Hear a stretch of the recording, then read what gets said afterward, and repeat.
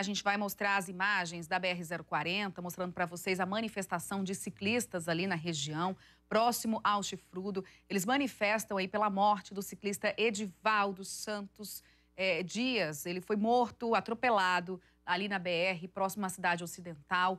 O motorista fugiu e o Edivaldo trabalhava como segurança do Hospital Sara e sempre fazia esse trajeto aí de bicicleta.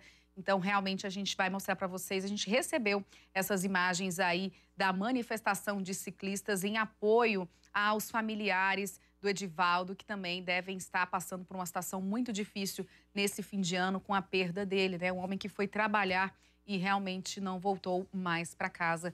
Tá aí as imagens que os ciclistas mandaram mais cedo para a gente. Então, motorista, eles pedem, inclusive, para o motorista nunca ultrapassar pelo acostamento, porque é justamente pelo acostamento que os ciclistas trafegam ali pela BR-040. E essas imagens foram enviadas ali pelo nosso WhatsApp.